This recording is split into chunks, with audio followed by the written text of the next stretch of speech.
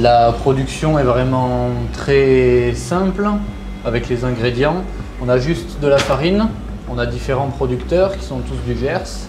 Le levain, c'est simplement de l'eau et de la farine qu'on a mélangé qui ont fermenté. Le sel. Ces trois ingrédients vont nous suffire euh, à faire le pain qu'on appelle nous campagnard, bien sûr euh, pétri à la main.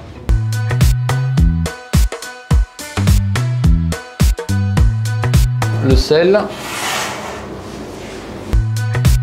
Et le dernier ingrédient, le levain, va permettre de faire lever la pâte, d'aérer la pâte et d'obtenir euh, ce qu'on appelle dedans l'alvéolage. C'est les petits trous qu'on retrouve qui sont d'ailleurs plus ou moins gros suivant comment on veut euh, réaliser son pain.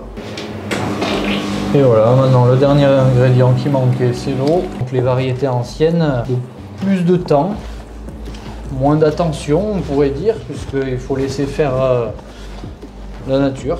La pétrie, euh, la première phase de la pétrie est terminée. Une petite particularité, c'est qu'à chaque fois que je fais une pétrie, j'insère les ingrédients dès le début. Donc on est exactement sur la même base qu'ici, c'est le campagnard avec farine, sel, levain et eau. La seule différence ici, c'est qu'on rajoute les noix et elles sont là dès le début.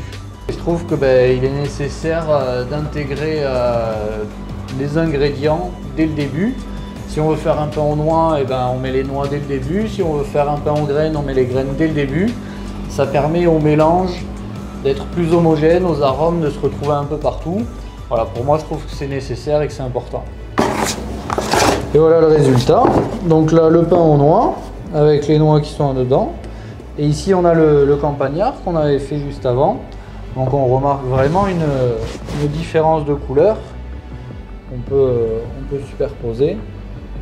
Et cette, cette différence de couleur va vraiment s'accentuer avec le temps que les noix vont continuer à propager leur, euh, essence dans, toute la pâte. Après avoir fini de mélanger euh, les ingrédients tout à l'heure, là on, a laissé reposer euh, une petite heure. On reprend la pâte, le but étant d'étirer cette pâte pour obtenir plus d'élasticité par la suite. Donc là on voit qu'on a quand même quelque chose qui est beaucoup plus lié qu'avant. Et on va maintenant venir sur la table et on va donner un tour. C'est euh, en gros on fait des rabats, on va faire des, plis sur la pâte, on va la replier sur elle-même, ce qui permet au final d'avoir un pain qui se tient et qui a une forme et pas une galette. Donc là on peut observer que déjà on a quelque chose qui est un peu plus lié que tout à l'heure même si ben, on n'y est pas encore. Mais c'est tout à fait normal. Il lui faut du temps. On va donc la laisser encore reposer après cette étape. Et voilà. Donc là, on a notre première boule, notre première pâte. On est encore loin d'avoir un pain. Il va falloir euh, d'autres étapes et surtout d'autres temps de repos. Voilà, on récupère euh, donc la pâte sur laquelle euh, on a fait la pétrie donc manuelle. L'objectif étant toujours le même pour toutes les étapes, c'est d'étirer la pâte pour gagner en élasticité, que la pâte soit plus souple et ensuite derrière la mie plus aérée. Voilà, donc là on voit que ben, du coup, euh, ça y est quoi. On a, une texture de pain, on a de la pâte, quelque chose de, très très fin et qui s'étire. Voilà, euh, ça s'étire pas à l'infini, mais c'est quand même très très fin. On peut, tirer, tirer, voilà. Bon, au moment ça déchire, il faut pas déchirer le pain, c'est pas, pas une bonne chose. Et c'était pour vous montrer que voilà, là on a vraiment une, une vraie texture de pâte. C'est vraiment le temps qui a permis à la pâte de se lier, au réseau de gluten de se créer et grâce à toutes ces actions d'étirage, on obtient voilà, une pâte euh, ferme et qui va encore attendre. On en revient aux noix. Donc on voit que la pâte est quand même euh, bien grise. Elle a, elle a encore pris un peu de la couleur. Donc on va faire un deuxième rabat. Euh, parce que c'est des variétés anciennes, nécessitent plus d'étapes, plus de travail, plus d'attention, mais aussi beaucoup plus d'attente. Puisque à chaque fois qu'on fait une boule, qu'on fait des rabats et qu'on serre la pâte, qu'on a quelque chose de, de dur, de solide, on est obligé d'attendre avant de passer à l'étape suivante. Donc pour moi, qui est 5, 6, 7, voire 8 étapes, et ben il me faut entre 6 heures et 8 heures. Alors que pour faire des baguettes, euh, il y a simplement 2-3 étapes, donc en 3-4 heures, euh, des baguettes ça peut être terminé. Je parle entre la pétrie et la cuisson. On en est maintenant à l'étape de division. Après deux rabats, on a donc notre pâte qui est prête euh, à être divisée en pâtons qu'on voit ici. Donc là, on a choisi un poids de pâte dans le bac. Il est fait en, fonction des différents pains qu'on souhaite faire. Et là, on a une machine, une des, rares machines qu'on utilise, qui s'appelle la diviseuse. Donc on a 20 parties. On verse la pâte.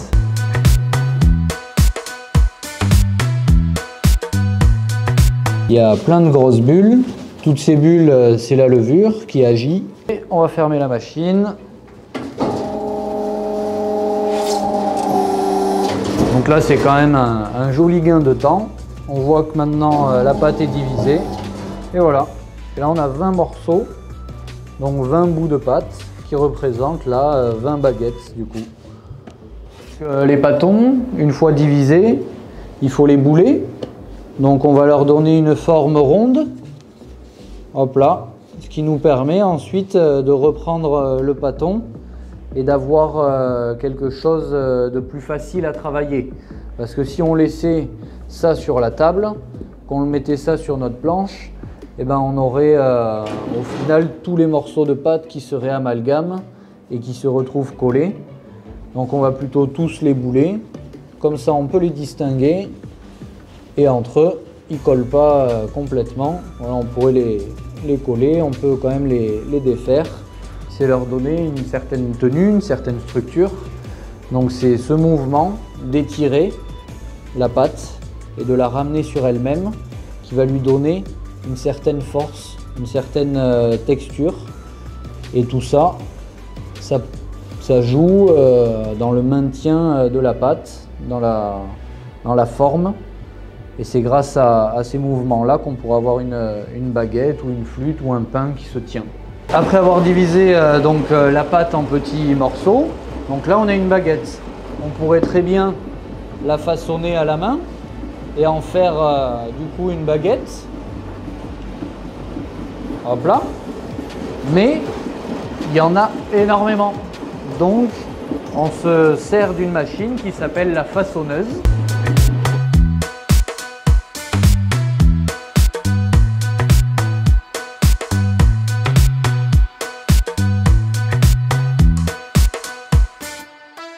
Voilà les pâtons, on les a divisés au poids euh, que l'on souhaite.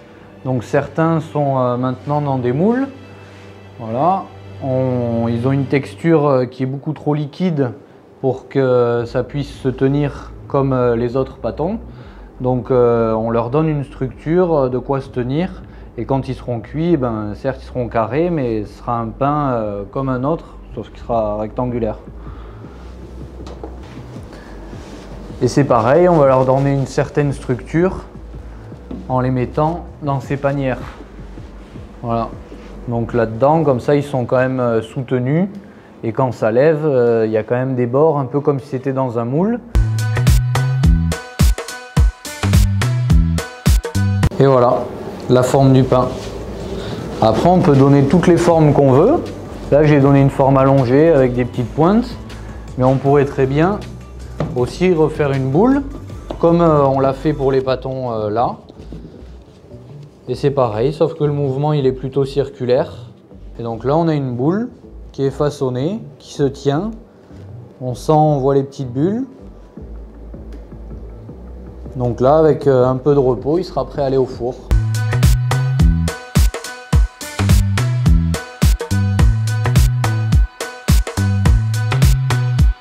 Pour le sésame, On voit qu'il y a déjà le, sésame à l'intérieur. On va rajouter du sésame sur le dessus. Ça fait joli. Et au four, ça amène un petit goût de, sésame grillé. C'est vraiment moi qui choisis la forme que je veux. Quoi. Je peux le laisser un peu plus allongé comme ça. Je peux lui donner une forme un peu plus pointue. C'est vraiment un choix. euh, Il y en a qui aiment les quignons, d'autres pas. Il y a des clients qui demandent euh, un pain de 1 kg avec dedans des graines, des noix, des, raisins par exemple. Et il le veut en boule. Eh bien, je vais lui faire. Tout est, tout est possible avec les ingrédients qu'on a. On est certifié bio sur, euh, sur les pains. Tous nos produits sont bio pour le pain. Donc euh, il n'y a vraiment aucun problème. On peut coupler différents, ingrédients. Voilà, c'est vraiment à la, demande du client.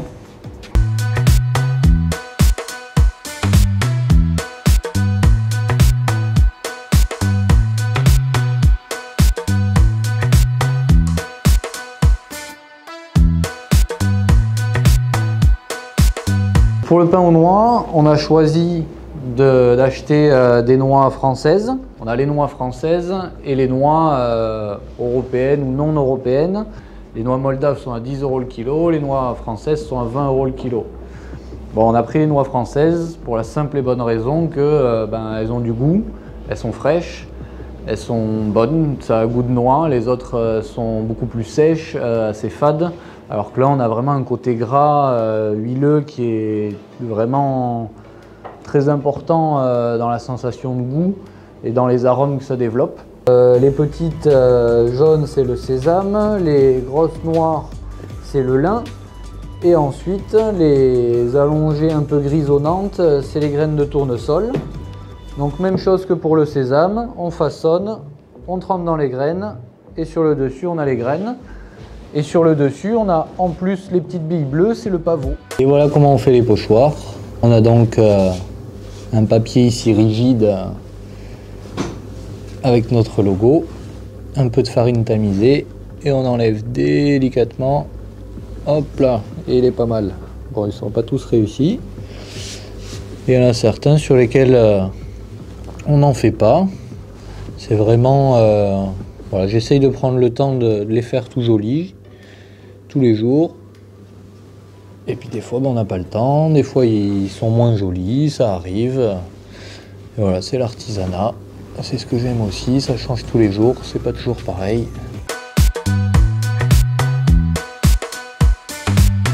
Donc ici on a le camut, ici on a le seigle.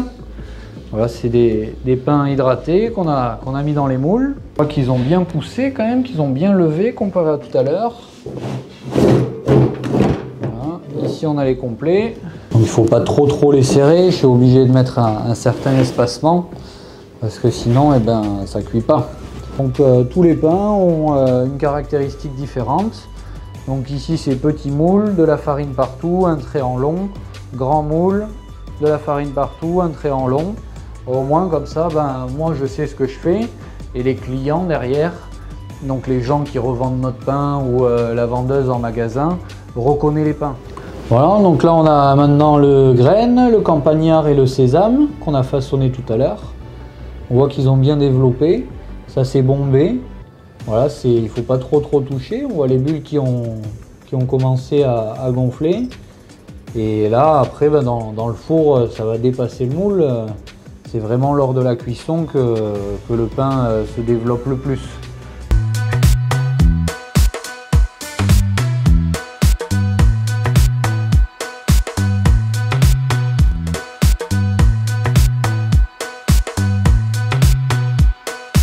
Et maintenant le lamage. Donc le lamage, là c'est pareil. On se sert d'un d'une lame de rasoir, tout simplement, qu'on adapte sur un, outil qui est fait pour. Certaines personnes se servent juste de, de la lame euh, toute seule, ça marche très bien aussi. Hop là, voilà. hein. Et là on a une, une grigne qui est faite. Et c'est vraiment euh, au, au choix du boulanger euh, de faire un coup, deux coups, un coup en long. Euh, si j'ai envie de faire par exemple sur celui-ci, trois coups comme ça, trois coups comme ça, voilà, ça fera un peu une forme d'épi de blé. c'est vraiment euh, à l'envie de chacun. Par contre, euh, certains comme cela, il n'y a pas le côté lisse. On voit ici la clé. La clé, c'est ce qui est sous celui-ci. C'est ce qui nous a permis de fermer le pain et d'avoir quelque chose de, lisse. Et là, on va rien faire du tout. Et quand le pain il va lever, ça va s'ouvrir tout seul ici, ça va éclater. Et donc là, c'est, ça fait un peu plus rustique. Euh, ça fait 30 minutes, on voit que le, pain a déjà sacrément bien gonflé là-bas. C'est les, graines et les campagnards, ceux qui explosent le plus, c'est là où il y a le plus de gluten. Et après dans les autres, voilà, on voit que c'est un peu moins haut, mais ça a quand même levé, on voit la, couleur qui commence à se faire. Donc là les, petits noix ils ont quand même bien grossi, derrière au fond ça commence à prendre un peu de couleur. Voilà, et là on voit que ben, ça crache, hein. c'est quand on, a les coups de lame et que, ça pète, qu'il y a des, petits traits au-dessus, voilà. Ce qu'on appelle la grigne. Ça crache, ça, déchire la pâte pour sortir. On va sortir les premiers pains enfournés, c'est les moulés. Il y a une étape euh, qui consiste à faire sécher le pain. Donc euh, on a un cran ici à moitié. Voilà, la fenêtre moitié ouverte, ça permet à l'air de rentrer, de circuler et ça commence à faire sécher le pain. Mais on a toujours la coloration qui est en cours, on a toujours le pain qui continue de, de cuire et de prendre de la couleur. Donc si on laisserait comme ça longtemps, ça deviendrait noir. C'est pour ça qu'on ouvre en entier. Et là, en entier, ça finit de sécher. C'est la fin de la cuisson. Et quand le pain il est bien sec, et eh ben on va le sortir.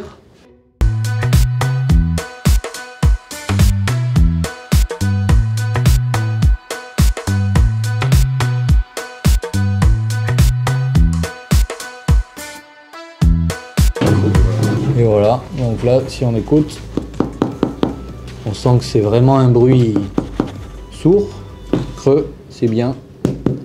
Voilà, on a, on a un bon son qui ici... Euh, est beaucoup plus puissant parce que le pain est beaucoup plus gros, donc ça résonne plus. mais ce qu'on cherche, euh, c'est ça, quoi. Hein, c'est ce bruit euh, où on sent que le, le bruit se propage à travers tout le pain. Là, on va, on va les sortir, on va s'arrêter là. Ils sont très jolis et ils se conserveront longtemps. Un pain bien cuit se conserve mieux.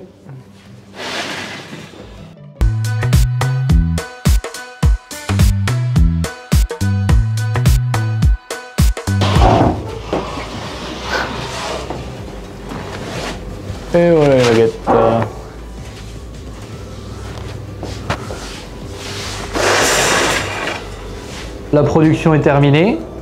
Donc je vous présente euh, le pain qui a gagné tous les mois. C'est le campagnard.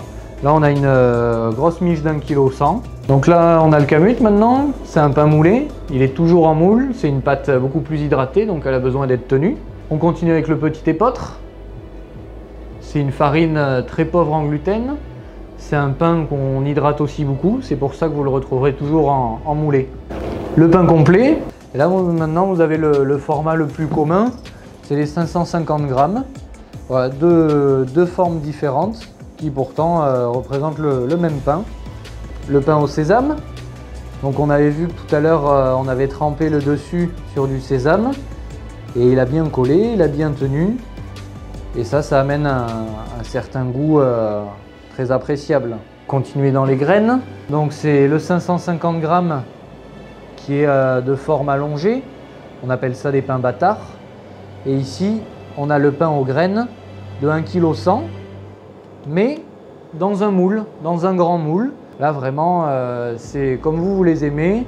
En général, les pains qui sont en boule ou allongés sont toujours plus aérés que les pains qui sont dans les moules. Donc le noix et le raisin noisette. Donc le noix est un peu plus rond, le raisin noisette est un peu plus allongé. C'est des pains qui font 200 grammes. Et on peut vous les faire en grosses pièces, en boule, en grosses pièces en moulé. Si vous voulez en très gros, on peut aussi les faire en très gros.